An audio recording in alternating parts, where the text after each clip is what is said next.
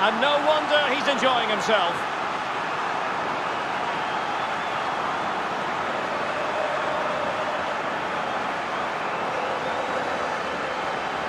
Well, here's the replay, and the power he's got on the shot nearly knocks the bar off the post. What a finish that is. Well, let's take another look at that goal, shall we?